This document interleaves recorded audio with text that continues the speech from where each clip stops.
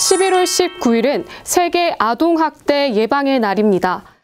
아동학대는 어떠한 경우에도 정당화될 수 없는 범죄 행위입니다. 누구나 신고할 수 있습니다. 여러분의 적극적인 신고를 기다립니다.